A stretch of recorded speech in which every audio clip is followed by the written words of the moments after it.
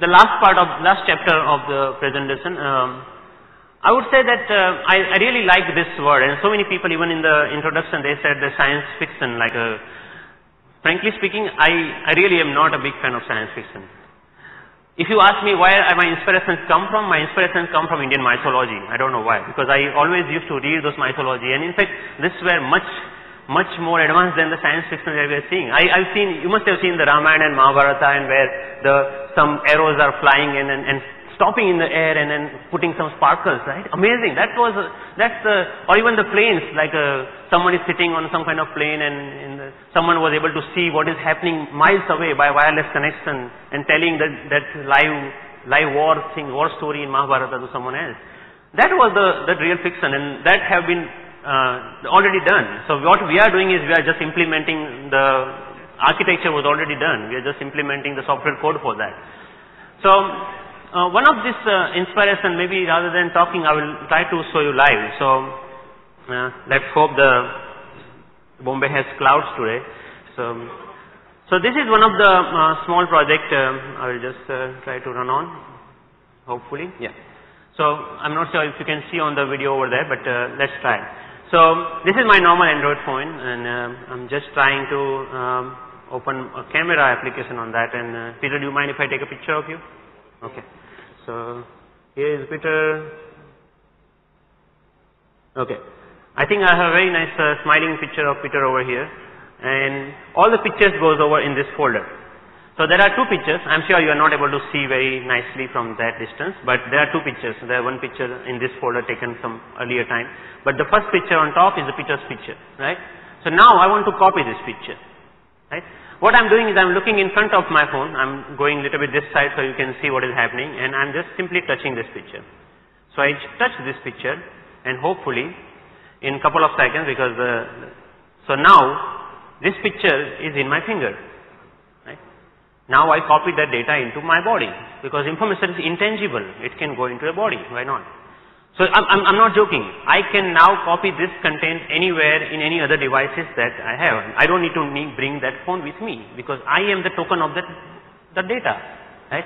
And rather than waiting, let's see, let's uh, try if this guy is also having luck with that. So you are seeing my computer screen. Uh, in order to show you, I'm rotating the screen so you can you can see what I'm trying to do over here. And I'm simply just uh, trying to, uh, I need to look one time to this computer saying that, oh, hello, I'm Pranav. Yes, okay. And yeah, that's where Peter is. Right? And, okay. So, you might be asking, oh, is it magic? Are you guys are IT, IT people, right? So, you know how it works. So, it's simple. So, what is happening in this one is the cloud is the, the source of the data. It is going to my personal cloud, is storing inside my, not everyone's cloud, not the cloud. It is my cloud. It's staying in that cloud. And I am the, just a token of that data. And that is what happens to our emails in some sense. Right? I'm just doing the same thing. Not only, it's not also that the two devices are connected. They are not connected at all to each other. They are just connected simply to the links to the internet. I can simply, uh, also the same thing, I can open a YouTube and let's say, um, if you guys are okay with the time, I'm little bit taking more time looks like. Uh, um, but anyway, so these are some video, uh, some let's say any video. So there is a MS Dhoni, some six uh, in last uh, the over or something, a, video of a cricket. So I'm just trying to copy this video. So I press it hard. As soon as I press it hard, that video should be in my finger in a minute, and um, not even minute, a second maybe, hopefully. So what is happening that now video, that video link is in my hand. I want to show that video to a friend on his phone, I can simply go and touch his phone, say, oh, this is the video I have. Or even a big TV, I want to show that I can just show you that TV. So that is what the technology works like. We call it Sparsh and I will move, um, I will not uh, go into detail of that, seeing that time is little bit limited. But the, the technology is completely patented and a lot of uh, media responses are interested in using this into existing devices because that's what the people are looking for. People are looking for the human aspects or, or this kind of magic uh, technology should be doing. So a very simple video uh, that was explaining that concept. Um, let me just move on a little bit. So an application of that thing as I mentioned again is so much. So even if a person is copying a phone number from a website and he wants to call that person So he doesn't need to type that number because he has a text copy in that finger, the number, right?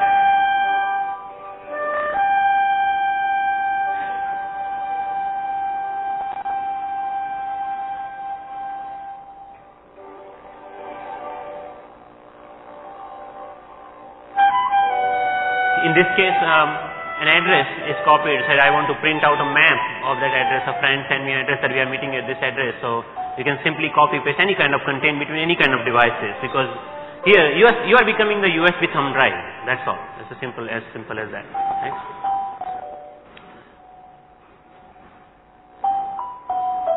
So inspiration of this project was very simple that I want, I actually went to a temple in one summer and I see that a monk is taking a red powder from his plate and he's putting a tilak on my head.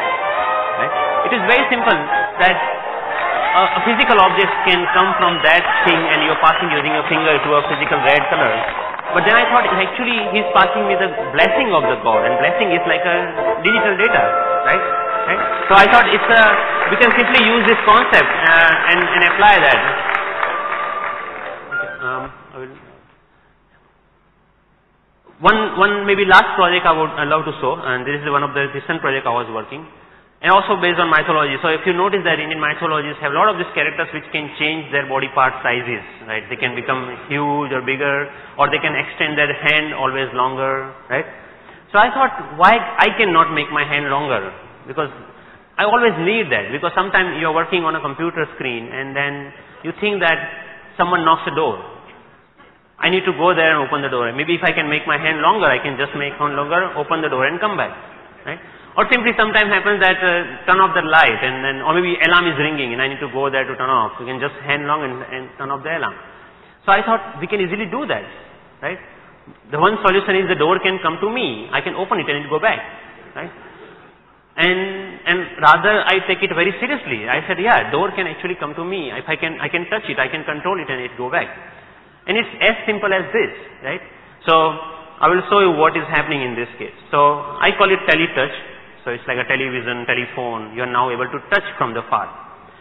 What is happening is that now for example, if this is the lamp or this is the light that I want to turn off, now the light is here. I, on my phone, I can see the light on my phone screen. I can touch it here, right? And I can control it. If I'm not able to see the button properly, I can zoom in and then touch it. Right? So that's what Teletouch is about, a very new project. So our demos are a little bit uh, slow because of the we are using internet connections and stuff but you are seeing it's a completely working live demo and we call it teletouch hopefully. Here you go.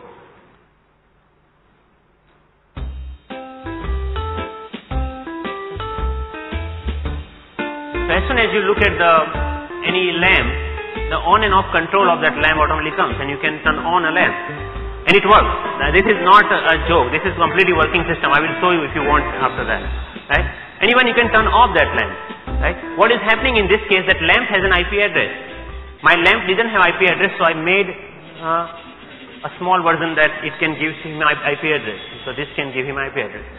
Even a TV, that most of the TVs nowadays are connected to internet. So now if you want to change the channel, you don't need to find a remote. You just look the TV and swipe the channel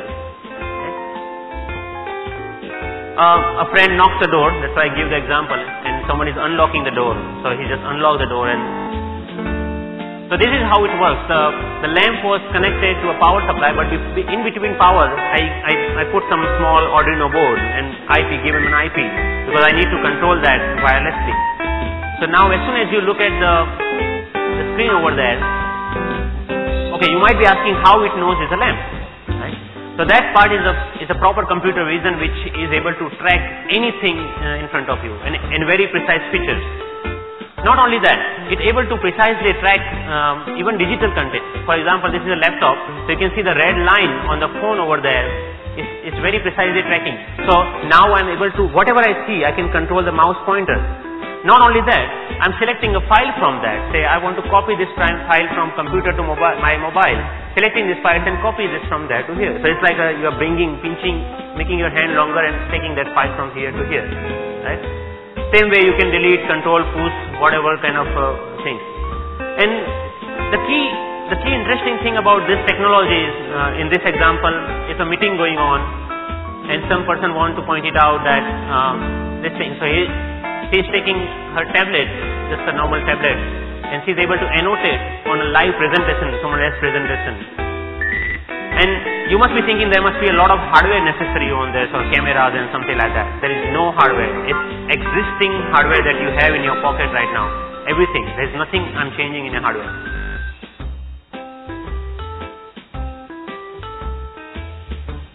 Yes, of course there are a lot of applications I cannot show all of them in this video. If you want, if you get a document, you want to print it out on your mobile phone, you say print this and he's asking which printer.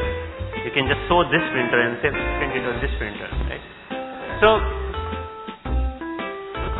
I was not at my desk and a friend of mine left me a message.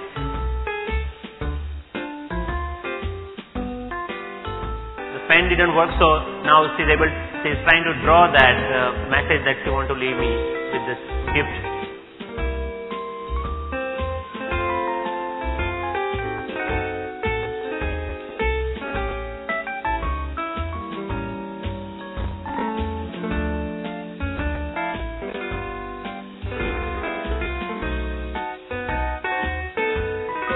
So the, the message of this particular project is that it's not necessary for us to always have extra powerful hardware or many things in order to give a better user experience. User experience it depends on, on our thinking and uh, understanding the user itself and maybe reading the Indian mythology maybe more.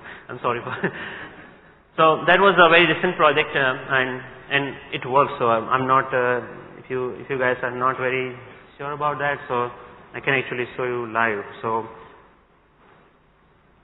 just give me one second and hopefully.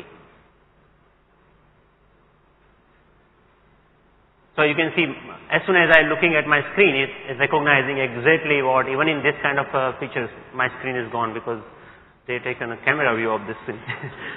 anyway, but it able to recognize uh, very much precisely the red. You can see on my phone there is a red lines which is very precisely even any angle I am able to recognize that scene. So I only need to do first time editing that thing. So the last slide, mm, can I? Okay. With that, um, there were a lot of fun projects. I think we don't have enough time, but I would stop in that case here with the last message that that the world that we have created is the product of our thinking, and it cannot be changed without changing our own thinking. So that's uh, Albert Einstein's words, uh, and I, I, really respect that particular um, uh, message from him. So with that, I will say thank you and um, you're most welcome to ask any questions.